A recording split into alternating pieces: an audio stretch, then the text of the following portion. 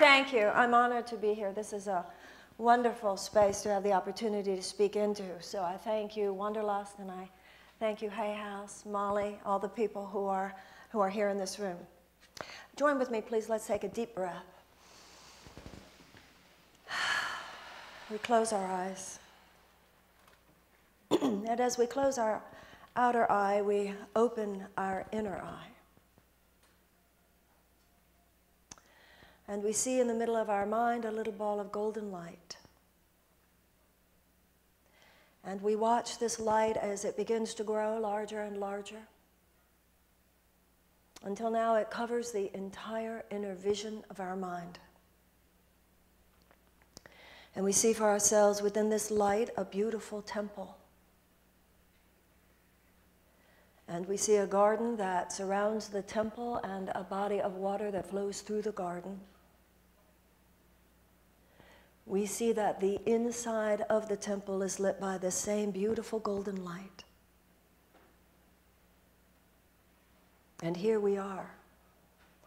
For we have been drawn together by the power and in the presence of the divine. And it is to that that we devote our time spent together and our experiences of one another. May we be lifted above and beyond the fears and limitations, the dis-ease of this world, to the love and to the peace that lay beyond.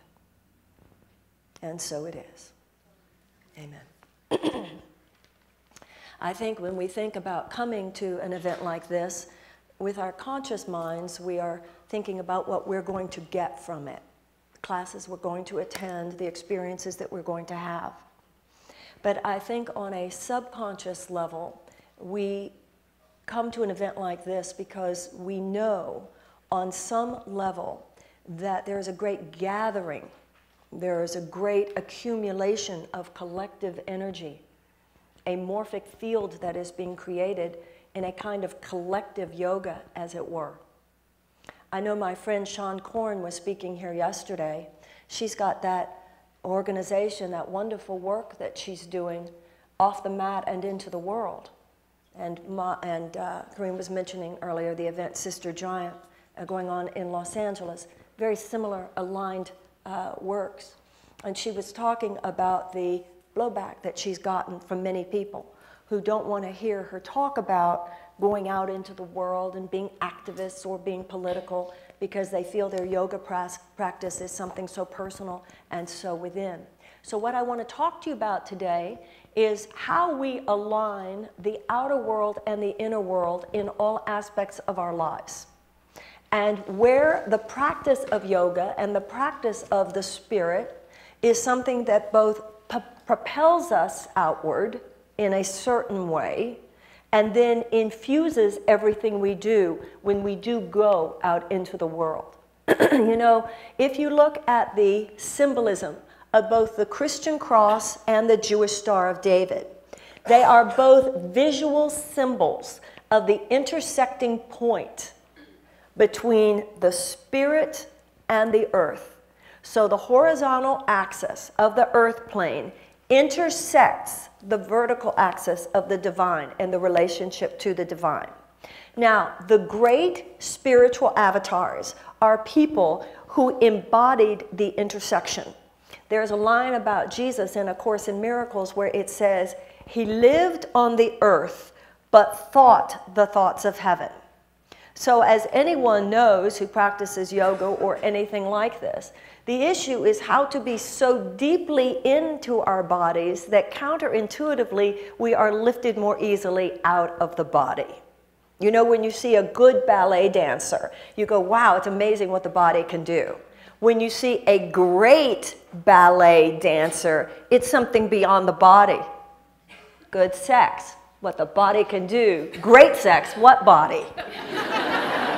And so there is a way in which we actually use the body to be lifted to a place, and that's also counterintuitively. The Course in Miracles talks about how physical health The way to be physical healthy, uh, physically well, is to know that you are in your body, but you are not of your body. Now, this intersection point between the internal experience of yoga or anything like yoga, and then out, what do we do, and should we even think in terms of going out into the world? Well, from a Course in Miracles perspective, we're taught about how, yes, you meditate, yes, you become peaceful, yes, you find that inner temple place, because that's what we're talking about here, right? We're talking about the consciousness of the temple, the consciousness where the energies are correct. And you go to a yoga class, and it's easier to do, not only because of an instructor, not only because of your own practice, but because you're with other people who are doing the same. It's not always easy to stay aligned when we then exit that room and go out into the chaos of the world. But it is actually, if you think about it, ultimately selfish if we think of our spiritual practice as only something we do for ourselves. The point is that yes, you can't you don't spend all day in your yoga practice. You don't spend all day in your meditation. However, the point for the adept is to carry it with us when we go out into the world to be at a point, as we know, where when we go out into the world, we carry the temple space with us. Everything we do is infused with the consciousness with which we do it. It's not just what we do in the world today, it's who we are while we are doing it. And what's happening in terms of yoga, yoga is certainly an example, but there are many spiritual practices that are part of this entire vibrational uplift that is occurring. The Course in Miracles says that ideas grow stronger when they're shared. So, and we all know this who've ever been to a yoga class or a group meditation or a Course in Miracles group or what, whatever our spiritual practice is. There's something that happens when you're doing it in a room with other people. And there's this collective this morphic field. So then the question becomes not only what is our responsibility inwardly as individuals when we leave the practice and go out into the world to carry the peace with us, but also the question that is really a burningly crucial uh, question for all global citizens today is what about how we are collectively when we go out into the world? The reason this matters is because if you look at all of the people um, who practice yoga, the scores of millions of people who practice yoga, the scores of millions of people who do meditative and spiritual practice and are on some kind of a spiritual path. This is force.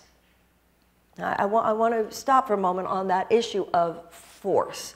Sometimes we think of force as a, a, as a bad thing. No, force is not always a bad thing. When you look at a tiny little blade of grass and you had an electron microscope and you saw it come up out of the dirt, you know, would one day be a huge, huge tree, but it begins as just a little blade of grass, right?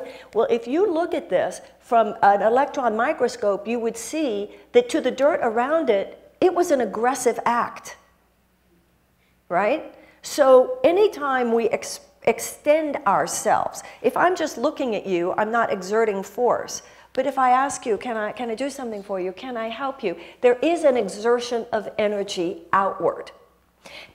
The world is this constant yin and yang of inner and outer. And if we only take, you know, sometimes in a yoga class, you're in a position and you're, you're aware that you're, you can feel yourself bringing down the light, right? You can, can feel yourself bringing down the light. And then we say things like, I am feeling at one with the universe. And, and we do feel at one with the universe. But notice where, even though that is a physical, you know, if I'm in a position, it's a physical experience of at one with the universe. Let's use our intelligence here. If I'm one with the universe, that would mean I'm one with the earth. If I'm one with the universe, I'm one with all living things. So if I'm one with the universe, what does that mean about my oneness with a starving child? Because since we've been in this room today, Every four seconds, a child on this earth dies of starvation.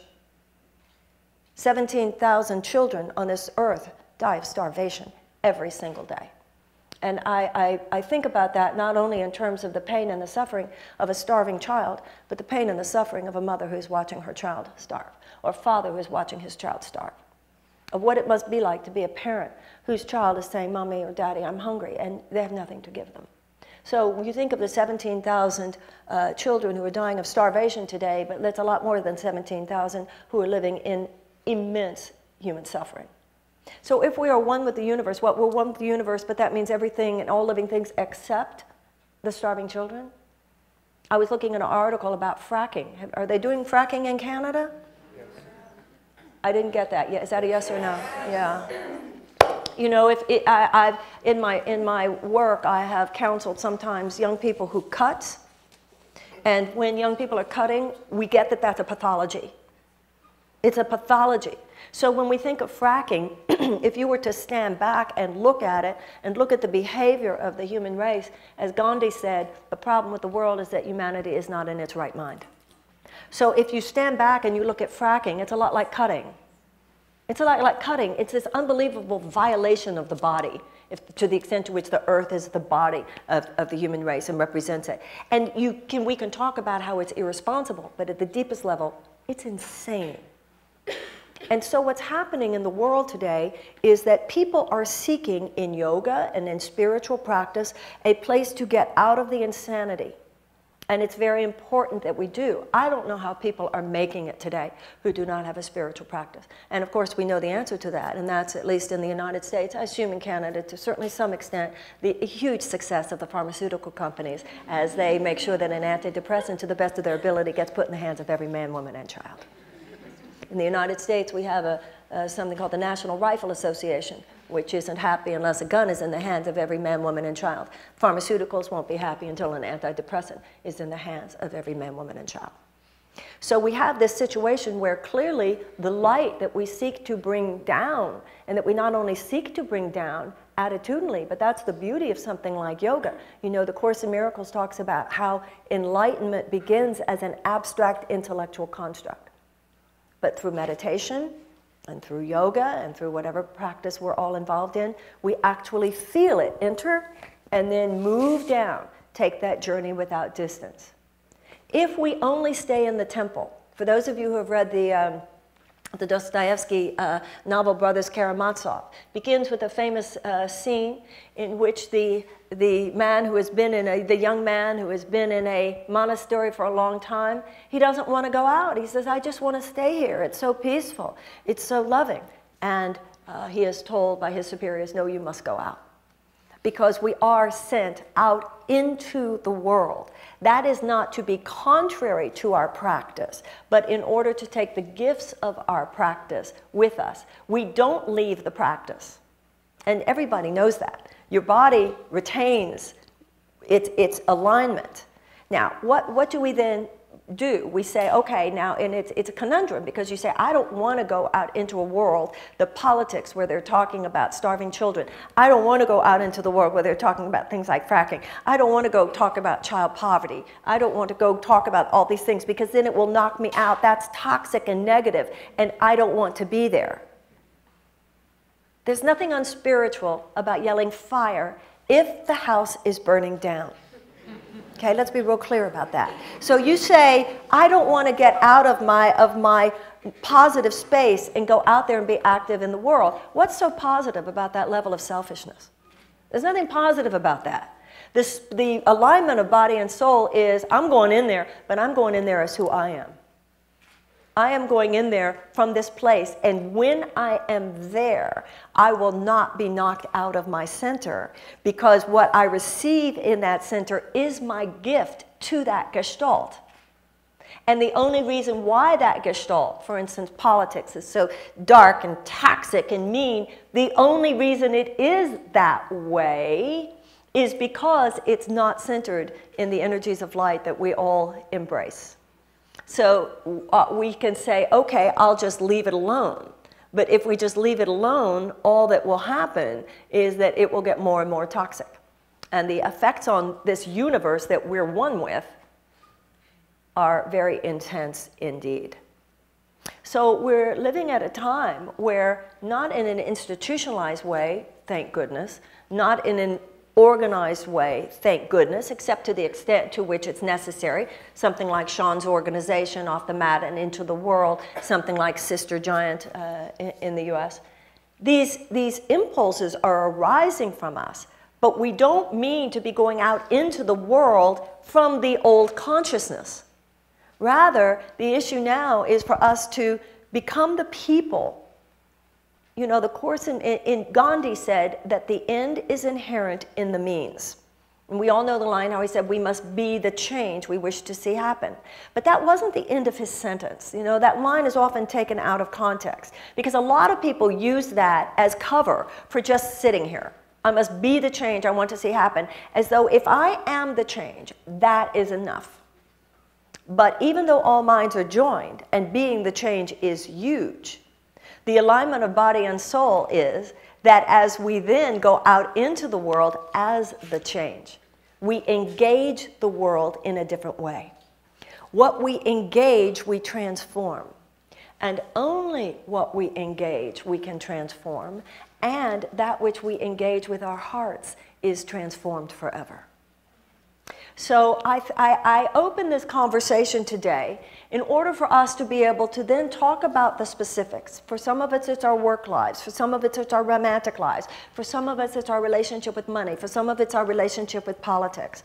To enter into a conversation about how do we dwell within the inner temple? How do we dwell within the alignment and yet deal with the chaos of the world?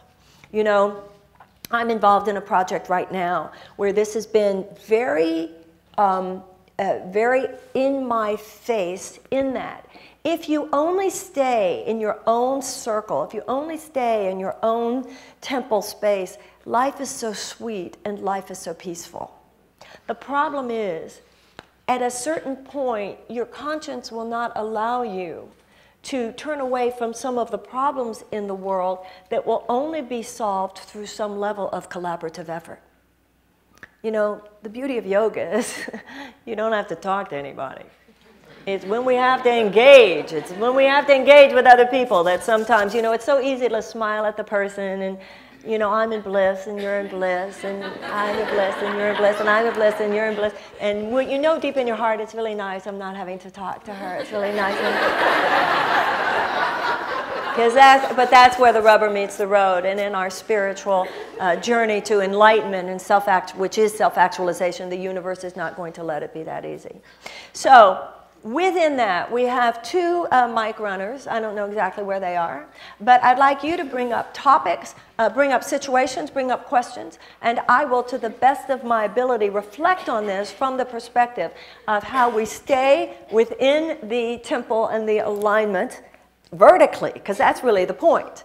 What yoga does is it aligns us vertically. But when I said before that Star of David and, and the Christian cross, you see, really the issue is the intersection of the vertical alignment with the horizontal alignment. And that's where we are now, which includes, like I said, the intersection of the individual stance and the collaborative collective effort.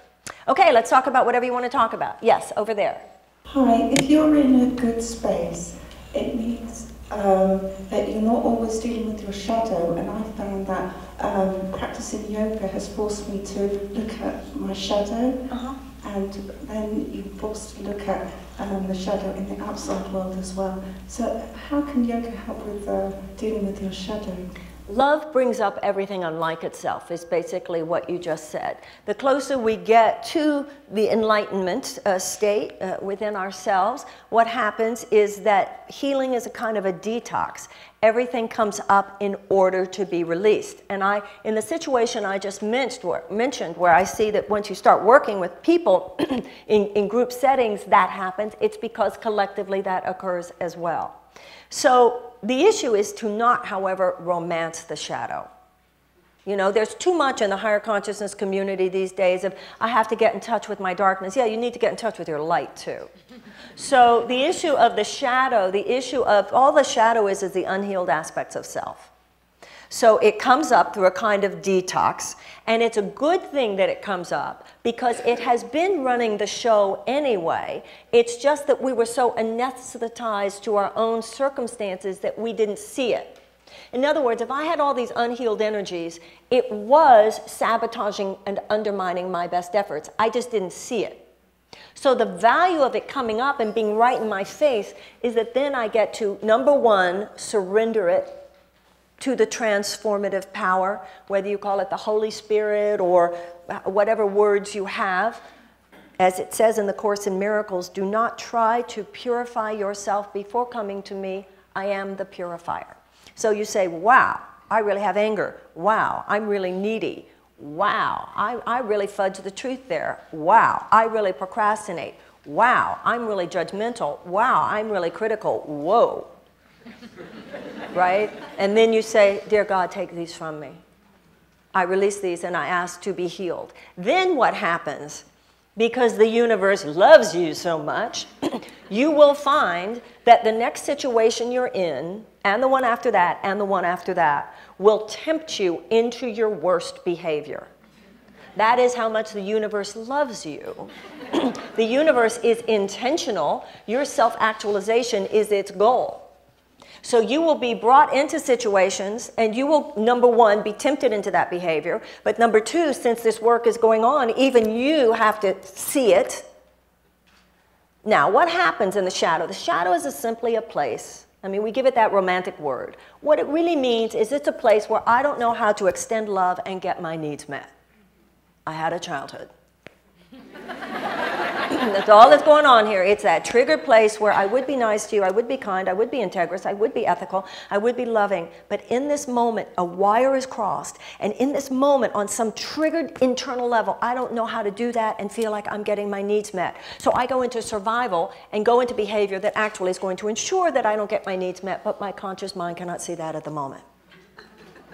So what the universe is doing is, is bringing it writ large so that I see what I'm doing while I'm doing. The first step is you get into, which is, I'm not enlightened enough to not be feeling this yet, but I'm enlightened enough on the path to get that I'm feeling it. Wow. So the first time you actually still feel it, still act on it, but kind of know you're insane while you're doing it. The next, and then you see the consequences and you're more adept at going, oh my God, that was me, I did that. Then the next time it comes up, you're saying, okay, I still I'm not, I'm not evolved enough. I haven't been healed. I've, because once again, like I said, you've given this. Dear God, take these from me. Take these character defects from me. Next time it comes up, you're triggered into that behavior, you realize, wow, I'm feeling this. But wow, I don't have to act on it. Now, this is where yoga comes in. When you do physical exercise, just regular, let's say weights and stuff, the physical exercise is so that I have the strength to go out there and do things. Meditation is to develop the musculature that I'm strong enough to just sit there and not be reactive and to have impulse control. There are two sets of muscles. The outer muscles is so that I can be strong in my ability to go out and do things. My internal muscles are I can be strong enough to not be reactive, not to have impulse control, and to be able to sit still. Yoga is a magnificent inter intersection of both. What yoga does is both builds our muscles, enabling us to go out and do, and also builds the internal muscle, giving us the opportunity to sit still within ourselves, right? Okay, now that second time that shadow is triggered, it comes up, and I have this feeling still, but remember, I'm doing this work, I'm seeing it myself, I've asked it to be purified, and through the grace of God, by whatever words I use that, wow, I'm still feeling it, but I'm not going to push the send button. I'm not going to send this email.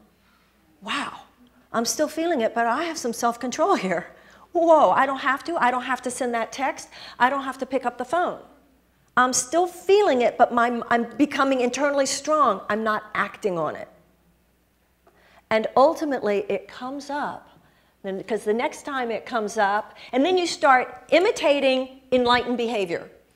Okay? At first, it is, you know, they say in AA it's easier to act yourself into a new way of thinking than it is to think yourself into a new way of acting.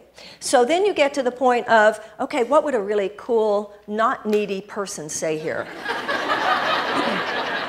you know, and the universe probably showed you one earlier in the day. you know, because the universe is giving you whatever you need to, to go, okay, she, she didn't react, okay, don't react. And you start, and then ultimately you begin to embody it. That's what transformation is. And the day comes when you don't even, you, that doesn't even come up in you anymore. You have been healed in that area.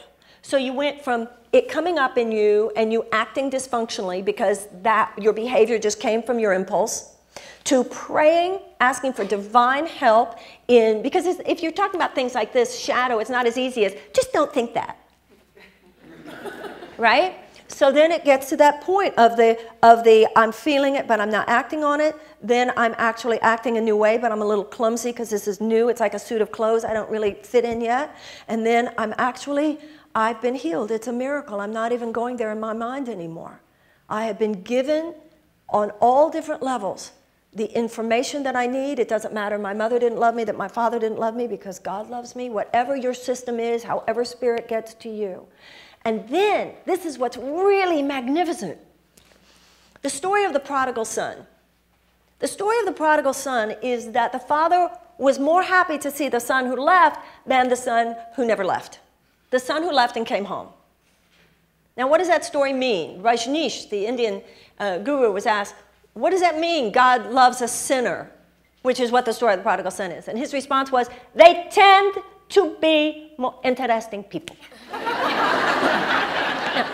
the, so the beauty of this is, the beauty of this is, and you know when a, when a bone is broken and it comes back together, it's actually stronger than it was before. So in these areas where we got it wrong and then we're healed, you have, you're even, there's something, you, you have a moral authority when you talk about the issue. Let's say um, you, uh, this would be a perfect example, actually, because I'm older than you are. So let's say that you were sitting in my, we were doing a session about a romantic relationship. And I was counseling you and I was suggesting that you really not call him five times a day. It won't be helpful, right? There's something that you're going to get from me that could only have come from me if there had been a time in my life when I did call him five times a day. And I no longer do. Does that make sense? And we, anybody in recovery knows that. Somebody who's been through it. So, when, uh, so the universe uses everything. It's a perfect ecosystem. So even the places where we have had to recognize our own darkness, the point is the detox happens, it comes up, and then we are even more shining in those places. Does that make sense? And then the other thing, and this has to do with that collaborative issue, is understanding that not only is my shadow coming up, but it's all a part of my healing, so is yours. And by the way, I have to be in my ego to point out your ego. So if I'm pointing out your shadow, I'm in my shadow. Because only my shadow points out your shadow. Right? Does that make sense? Okay, who's next? Yes. Hi, thank you. Um, okay. I wasn't raised on any religion, mm-hmm. so there's some language that's lost on me. So I've discovered God through my own processes and had some detoxing. Through, through what, ma'am? Through my own uh, journeys and uh-huh. processes, and without little guidance. But where I'm confused is I have this way that I access God and I go inward, and that's where I connect. And I often see and hear people talking about God being out there, and I don't get it. I'm, I'm just, I just really, I just really need an, an answer on that. Well, those who are into a metaphysical, spiritual orientation know that the reason there's no God out there is because there is no out there. Time and space are all parts of the illusion of consciousness. Not only is God not outside me, you're not outside me. The idea of spirit is that there is no place where one of us stops and one of us starts, and there is no place where we stop and God starts. So when people talk about up here, God and heaven, the pointing is to our own higher consciousness. No different than in yoga when you're being pulled up to higher consciousness, higher thought forms. And heaven is the awareness of our oneness. So, yes, there are a lot of increasingly old fashioned so called religious perspectives which speak of a God out there. But when you're talking about the higher consciousness community, yoga, and so forth, we're not talking about a God who is out there. We're talking about God who is in here. Does that make sense? And ultimately, belief in God is irrelevant. The experience of God is what's relevant. And the experience of God is our love for each other. One of the lines that uh, in Les Miserables, there's a line to love another person is to see the face of God. And there's a line in the Course in Miracles where it says, Some people um, conspire with God who do not yet believe in Him. What, you know, there are people who, in the name of God, kill people. And there are people who claim to be atheists who live lives of deep love. It, it, you know, and there's nobody up there going, oh my God, get the words right. God doesn't have an ego by which to be offended, you know, except by lovelessness, and even that is not offended, but sees it for what it is. Does that make sense? Okay. Yes, over there. Okay, this seems a little bit different than what we've been talking about, but I think um, my greatest challenges recently have come from trusting myself to deal with either my children or even when you talk about hunger, uh, enabling versus empowering. Mm-hmm. You know, like, so when you talk about the hungry children, you know, this, the solution really isn't just the food, right? It's that that gives you relief. Like, it's like, like if you go on a vacation to Mexico or something and you're surrounded by it and, and you're tempted to, or I was tempted to, or not tempted, I, you know, you just, you do things. You give, you give your, you give the burrito you're eating to somebody, you know what I mean? But you know you haven't, you haven't impacted it. So I was just interested in your thoughts on that because when you, you said something about when we work together collaboratively, whether it's politics, or any of these things, because I look at it from my adult children who I'm tempted to throw money at their situations, and I know I'm not. I, I know I'm. Uh, it just that feels doesn't feel healthy. Okay, I understand, and I am a mother, and um, obviously with our own children, uh, part of empowering them is not just throwing money at them particularly when they get to a certain age. I mean, it's called weaning you off this, you know. So I, I, I understand that as a mother. But when you're talking about, remember, there's a difference between hunger and starvation. Canada doesn't have starvation. The United States doesn't have starvation. We have hunger in the United States. I think you probably have some hunger in Canada. You have a much lower poverty rate. But we have hunger. In places like Africa, South America, there you're talking about starvation, the bottom billion on the earth.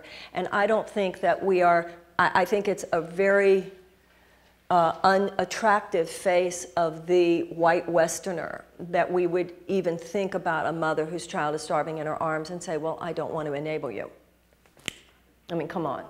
So we want to, I, I don't see anything wrong. You know, as parents, we have this fierce thing that comes up in us sometimes, and most parents have been there, where something happens and you say to your children, That will not happen in this house and it, you're kind of laughing inside because you really don't know what you would do if they challenged that. But you have this face that you have on when you say that. That will not happen, young lady, in this house. And they go, whoa, right? That's that face. We need to become that way about this earth.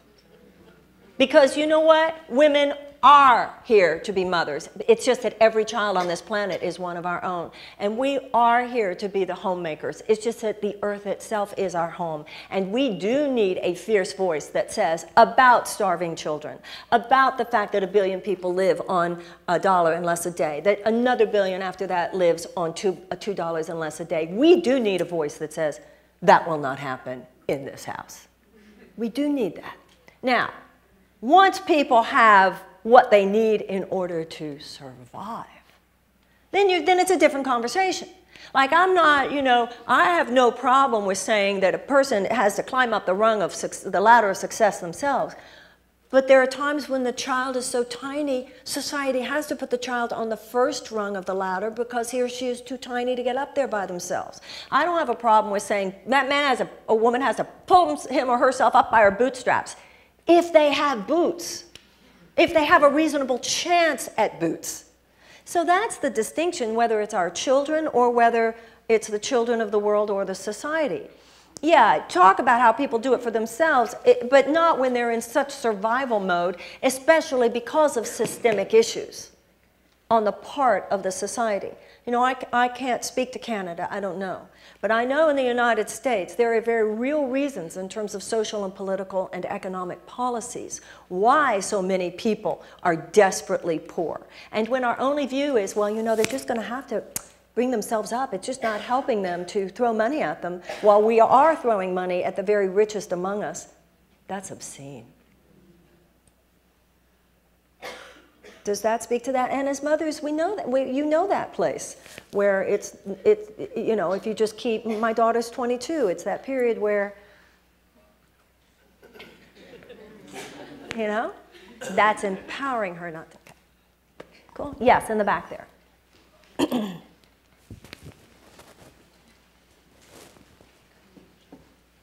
you, Marianne. Uh, my question is about how do we bring light to these issues without taking on, because when I think about starving children, I get very sad and, and angry at the situations that cause that. So how do we bring light to it without taking on or not sort of fueling Yes. the anger and the suffering Right. that's behind it? Very important question. But first of all, let's look at the word anger. Moral outrage is not born of anger, it's born of love. You know, when you see a mama bear or a tigress or a lioness and how fierce, you know, a common anthropological characteristic of all advanced mammalian species who survive and thrive is the fierce behavior on the part of the adult female of the species when she senses a threat to her cubs. You know how a, a bear gets, a mama bear gets, if she senses you're messing with her cubs, or a, or a mama tiger or lioness. Now, if you see on a National Geographic special, let's say, the way the, the bear gets if she thinks you're messing with her cub, we don't look at that mama bear and go, I think she's strident. I think she's got anger work she needs to do. The complacency, our complacency in the face of such immense amount of human suffering, that's what's negative. The relative complacency, that's the sickness, that's the shadow. Now, with our anger, the whole idea of the anger, you know, the Course in Miracles says there are only two emotions, love and fear. That all quote unquote negative emotions derive from fear. What are you afraid of? And you really get that you are sad and you are hurt. But you know, I, whenever these kind of situations come up for me, I think of the Olympic athletes.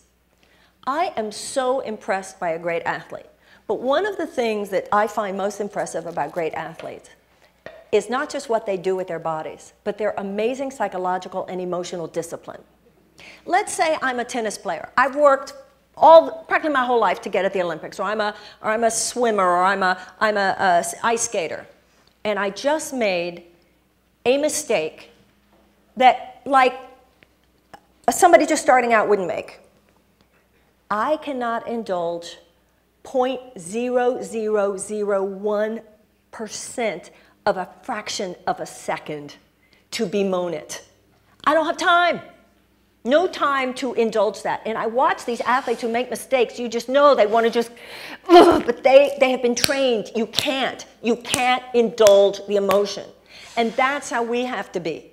I remember once my sister worked with uh, autistic children, severely autistic children. And once when I was in high school, one summer I was helping her. And there was a severely autistic child. And it was, was so horrifying that I, I ran into the bathroom.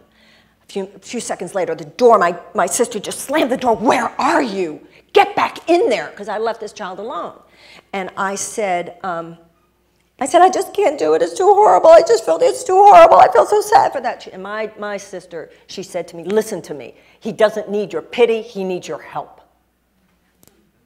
He doesn't need your self-indulging, your emotional stuff. That child needs your help. Get back in there. And so you begin to see that it's our own lack of emotional and psychological self discipline, which, once again, once we see ourselves as parents, you know, we're all parents, part of a maturity of consciousness, regardless of whether we ever have children or not. It's almost irrelevant. Part of right mindedness is knowing that care for future generations and the larger narrative of how life has come into us from others and now moves through us into those behind us who will be here when we go. That's, there is no higher consciousness without that realization of your place in the universe. So that's all part of the process that you come to see as your own self indulgence. Martin Luther King said, You have very little morally persuasive power with people who can feel your underlying contempt. So if I have contempt for the people who disagree with me, and I have that in my consciousness, they subconsciously feel it. So that's the way in which healing ourselves of our own lower energies is part of the work that we then take out. Does that make sense? And there are a lot of hours in the day. You do the work and you cry. But I know when I was very, very, very active in the, in the AIDS crisis, and I found from that that hope is born of participation in hopeful solutions. I was in there with it every day. And I was doing less emotionalizing around it than were people that weren't involved in trying to help.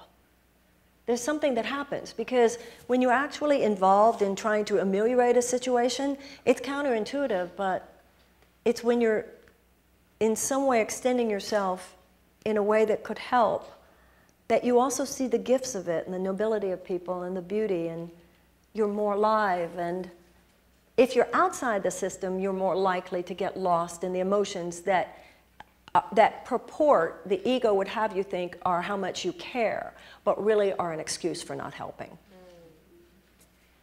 It's just a very clever ego. It's just, I'm too sensitive. I just can't stand seeing all that.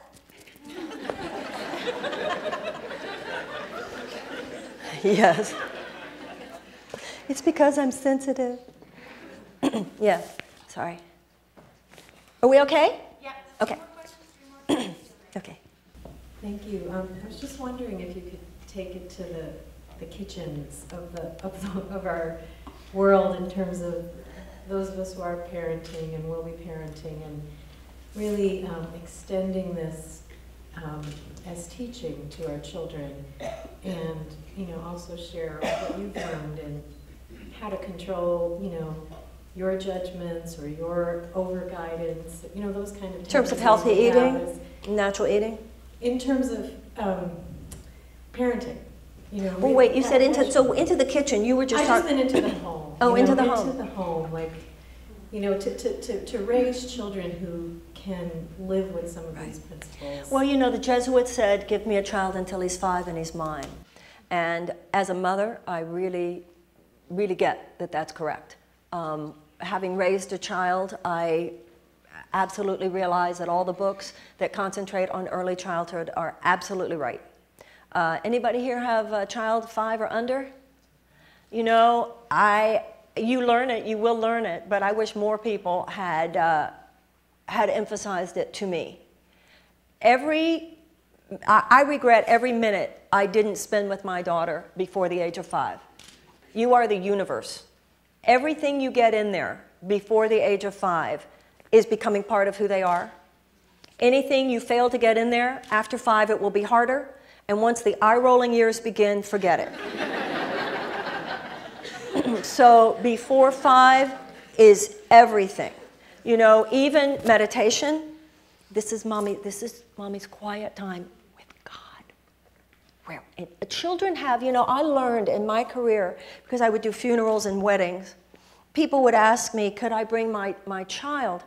And what I learned early in, in my work is that if there's a funeral, let's say, or a wedding, children have a natural sense of appropriateness. When something serious is going on, they don't know what it is, but they, they go naturally into a state if it's created. So even when, particularly when young mothers tell me, I don't have time to meditate, right? Because I have small children at home. Well, first of all, if you meditate, and you know this from doing yoga, time expands. Time itself is malleable. Time is an aspect of consciousness, just as space is. So if I'm thinking deeper thoughts and I'm moving from a deeper place, I will have more time, literally. Okay? If I'm frantic and shallow, and I don't have time, I don't have time, I won't have time. Right? So with children, especially in the before five, you know, and there's a lot now. There's the yoga for children, there's meditation for children, but also just, I know with my daughter, like I would just be home and I would notice Um, okay, this is, what do you, mommy, meditating. Okay, we be very quiet. God is here.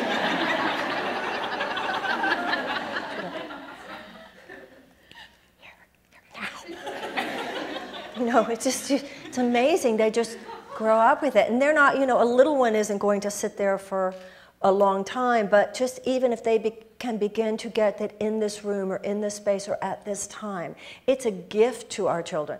Even if you find that you have a little eye open just to make sure, he, whatever. You know, you, so I think it's a great gift to our children. Now, after that, what I found as a mother, so first of all, that, get everything in there before five. I wrote a book called Emma and Mommy Talk to God which is like four-year-old level. And what I learned as a mother, and you know, I, I, I'm sure some of you are like me, you're, how many have kids who are grown up?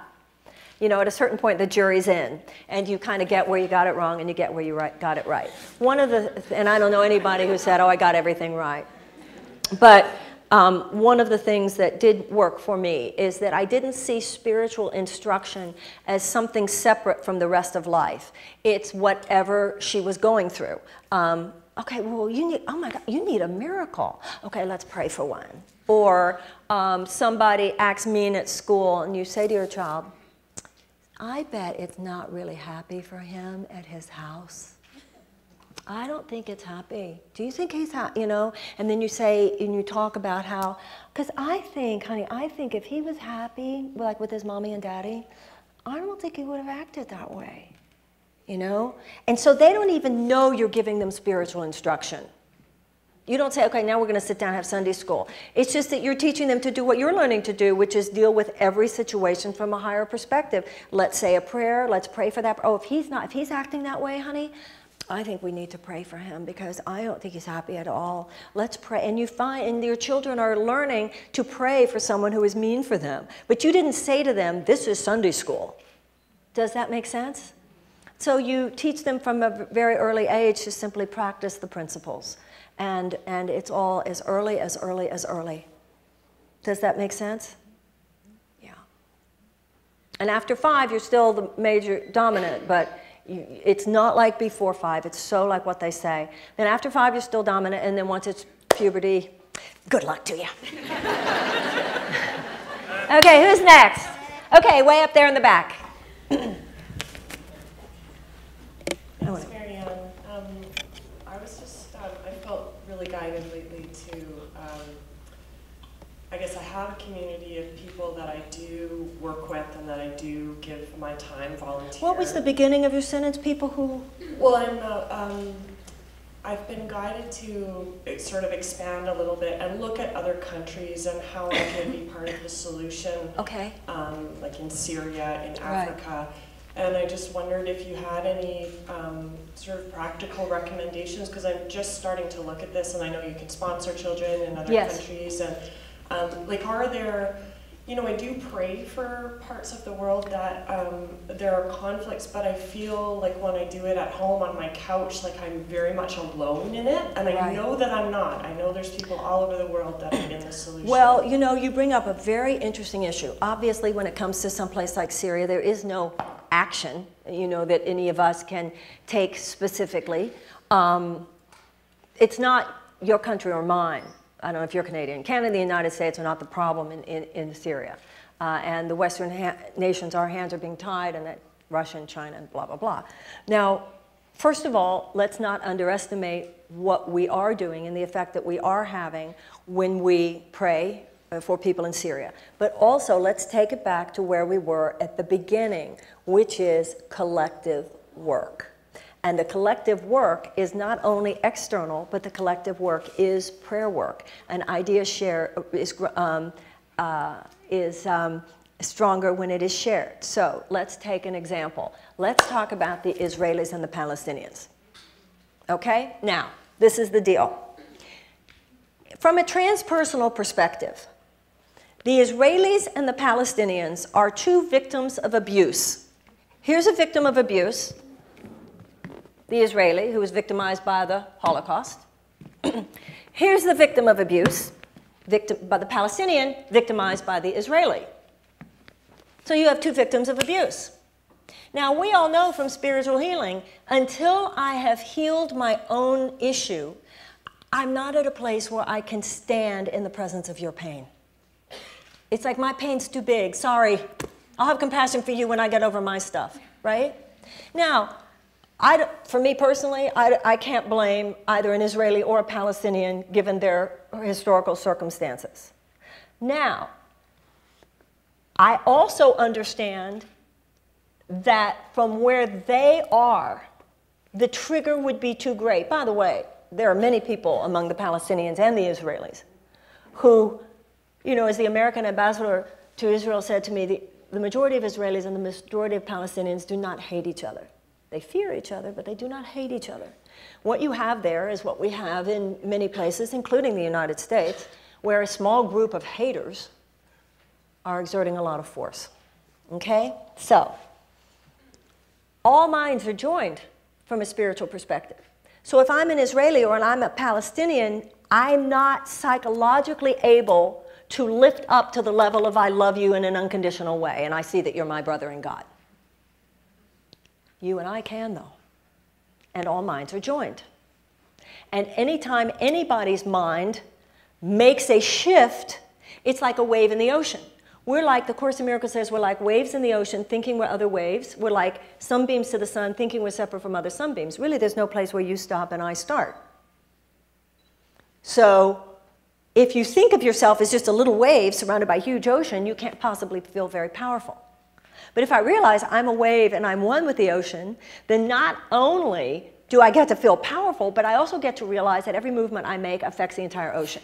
We now know that when a butterfly flaps its wings in the South Pole, it affects the, the wind currents in the North Pole, right? So anytime you and I think differently, it affects the sonship. This is the metaphysical meaning of the line, there is only one begotten Son. The traditional Christians take that to mean the only begotten Son of God is Jesus. To the metaphysicians, there's only one begotten Son means we're all it. Are you with me? Now, so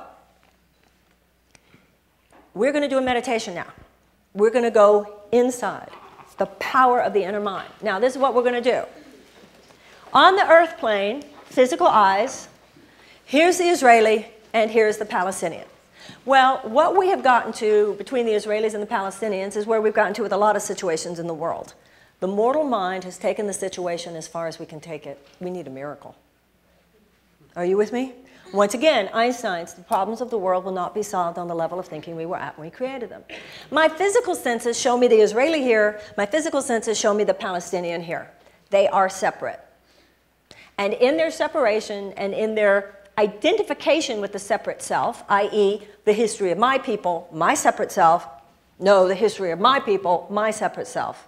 Are you with me? Uh, we are getting to a point as a human race where, to the extent to which we see ourselves as separate, we cannot live in peace. Once again, if we see ourselves as one with the universe, hello, you with me? Okay, now, there's a deeper level. There is a world beyond what the physical eyes can see. And the entire mortal world is like a veil in front of what is true. So on the physical plane, here's the Israeli and here's the Palestinian. But on the level of deep reality, beneath the mortal shell, there is the truth of who the Israeli is. Beneath the mortal shell, there is the truth of who the Palestinian is.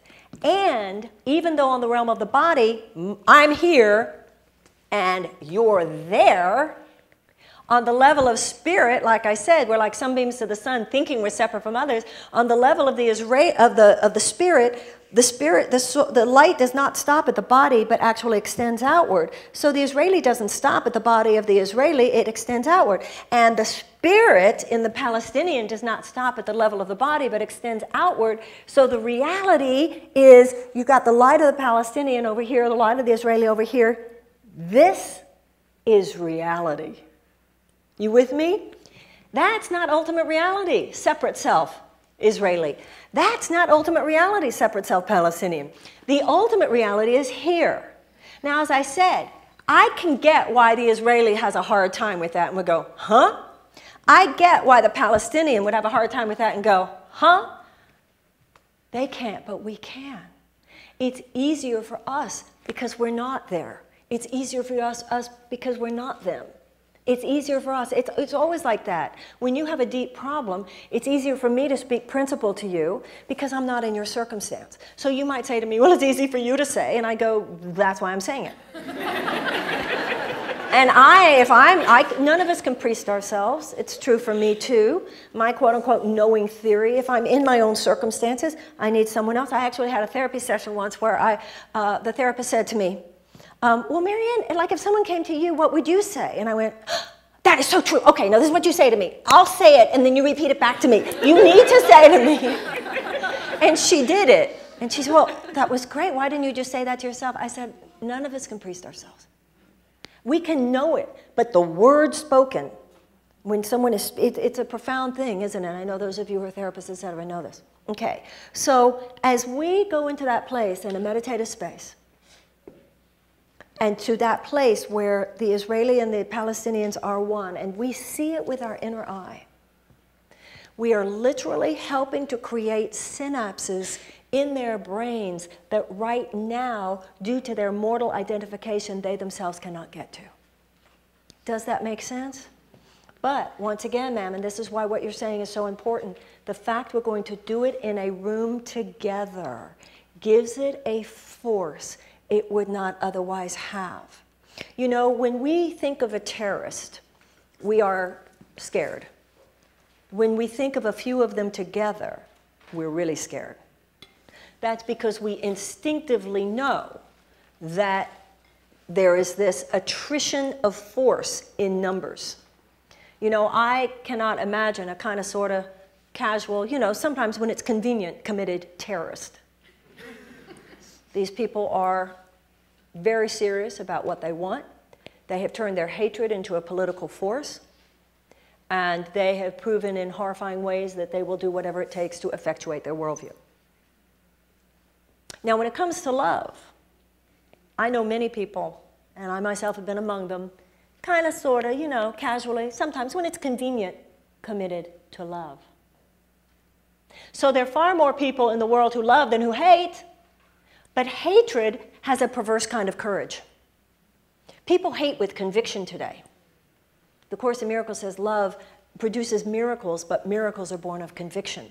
We need to love with the same level of conviction with which some people hate.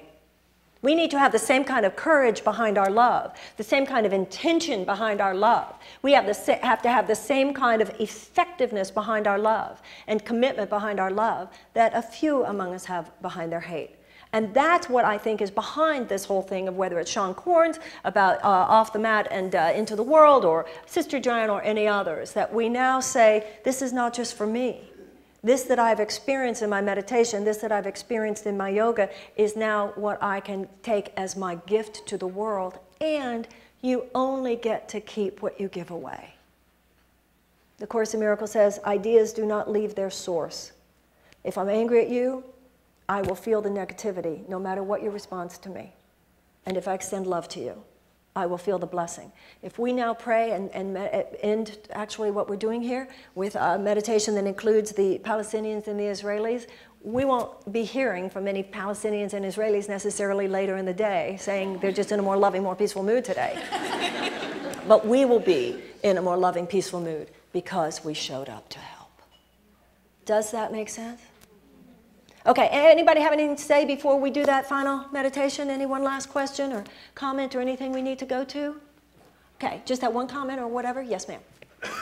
Thank you so much. Um, I just want to ask you about um, when you're talking about the athletes and their yes. emotional and psychological resilience and yes. strength.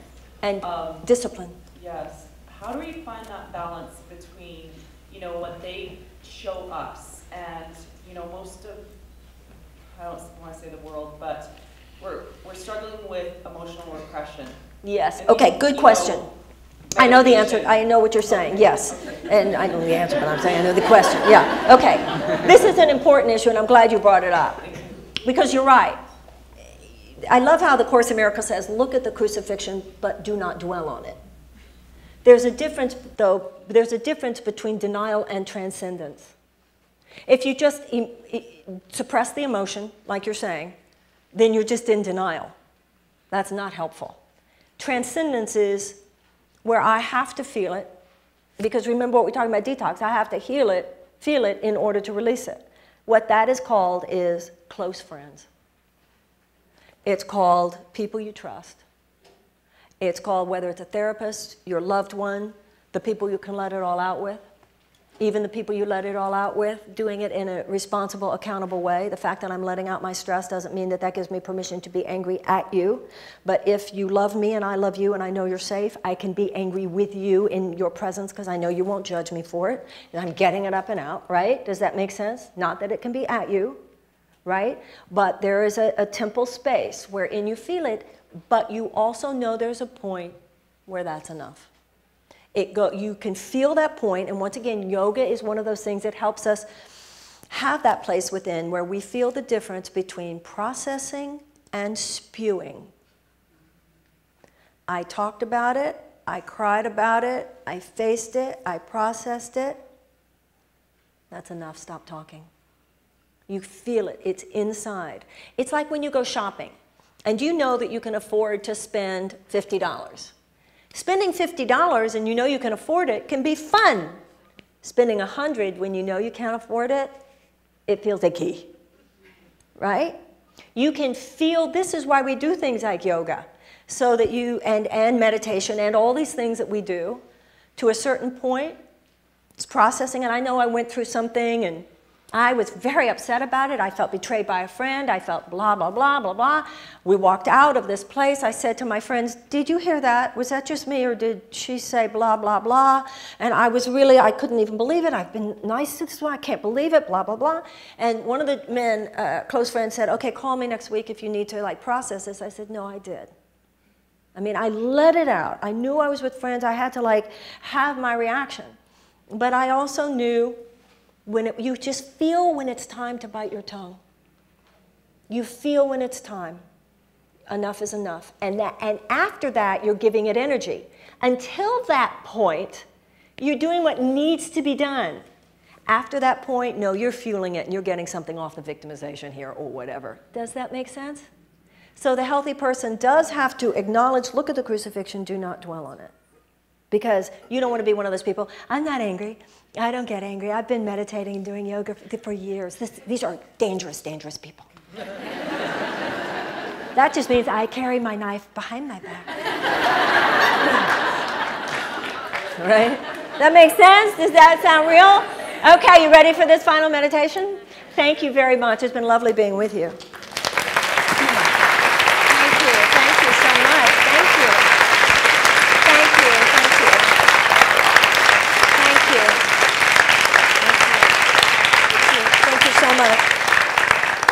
For those of you in your uh, yoga practice, um, in this conversation that is now up, I hope those of you in the United States will check out sistergiant.com. If you're not on my mailing list, I hope that, and you're interested in when I uh, come around your neighborhood, etc., I hope that you'll sign up on marianne.com or at the book table.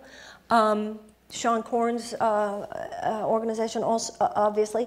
But even short of the material activism, this spiritual activism is very important that we're about to do now.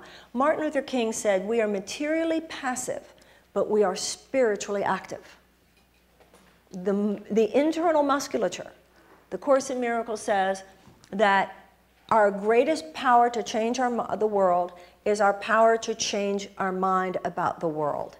And the Course in Miracles says an agreement between two people is the most powerful force in the universe.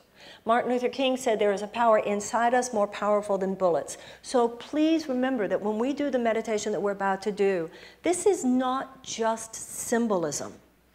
This is not just metaphor. He says in the Course in Miracles, if you look at these ideas as merely symbols or merely metaphors, they will have the effect of, on your life of a symbol or a metaphor. But if you realize these are the forces that rule the universe, then they will move mountains in your life. So for those of you who have spiritual group, for those of you with your yoga practice, you might wish to begin something uh, where with other people practicing yoga, you actually include 10 minutes of meditation for peace on the world, sending love to those in Syria, doing exercises like we're about to do. Just see how that lives in your heart and see where it takes you. Okay? All right, and now uh, join with me and take a deep breath.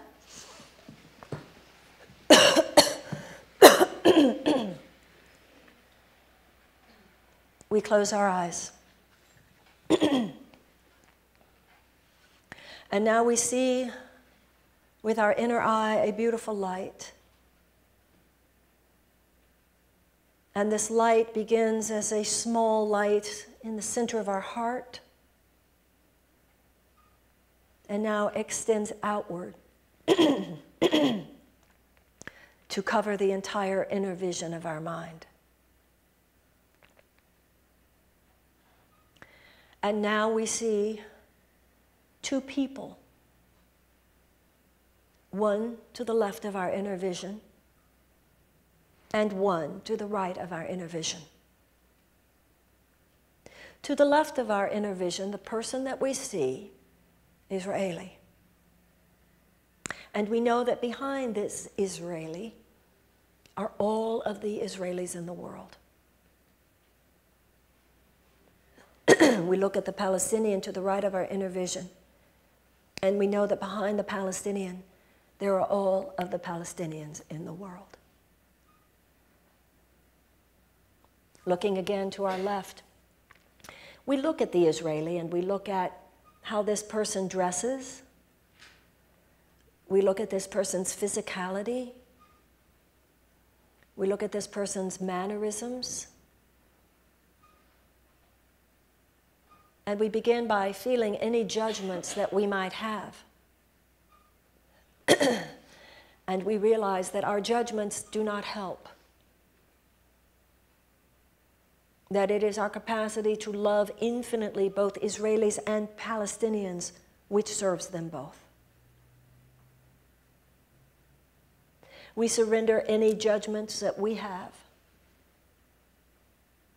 And now we look at the Israeli and we see the same little light that we felt in our own hearts, now in the heart of the Israeli. And we see that light begin to extend outward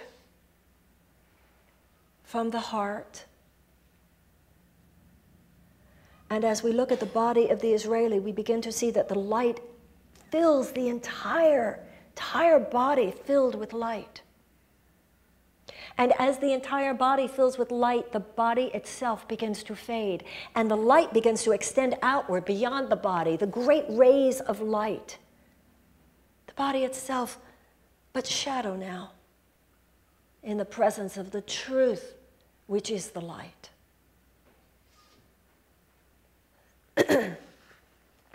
now, gently, we turn our inner eye to the right, and we see the Palestinian. And we see how he or she looks, his or her clothes, his or her mannerisms, his or her speech, his or her behavior, and any opinions we have, we now surrender to God. With blame or with pity, victimization, anything. Our outer emotions do not serve. We surrender to God and ask only to see infinite love, to see with the eyes of spirit and to embrace this person with all our love. And now we see a little light in the heart of the Palestinian. And now we witness as this light begins to expand, to grow in intensity, in brilliance, and the light begins to extend until now it fills the entire body of the Palestinian. The entire body now filled with light. And as the body itself is filled with light, the body itself begins to fade. For all we see is this great, extraordinary light that now extends outward beyond the body. The great rays of light that extend from the heart, the spirit, the soul of the Palestinian, extending outward beyond the body, the body itself now mere shadow. And now slowly, we turn our inner eye into the center of our inner vision. And we see to the left that the light of the Israeli has extended past the body, now into the center. The light of the Palestinian now extending past the body, and in the center, the lights merge. And the light of the Israeli and the light of the Palestinian, the truth of who they are, the spiritual reality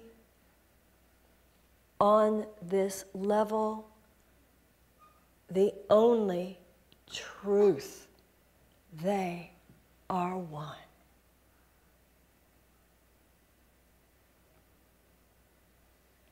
And we simply bear witness.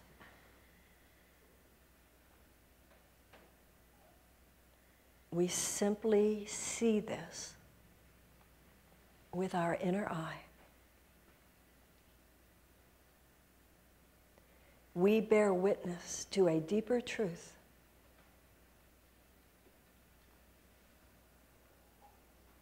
From which a new level of problem solving will emerge. A new consciousness from which new manifest realities can now emerge.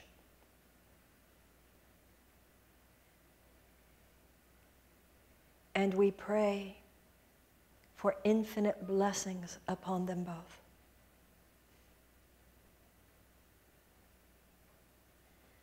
And here in this space where we contain the light of the universe and bring down the light of the universe, we ask that it extend through our minds to bless all living things.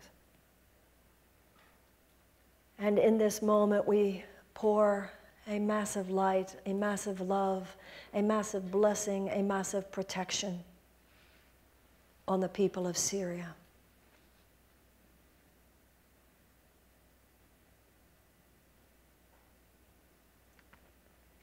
We extend our hearts and our love to all those who suffer, anywhere for any reason.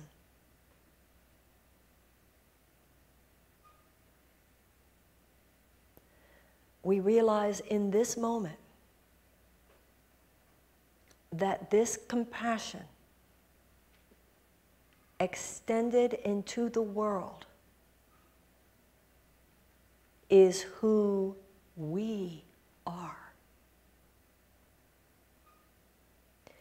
The righteous or right use of the mind.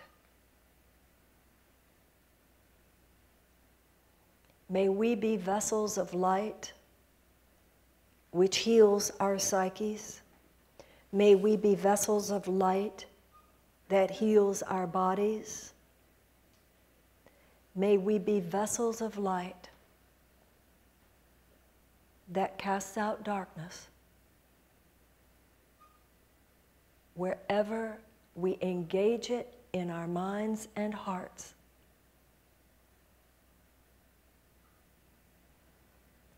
And may the inner peace that we receive be a peace for all the world.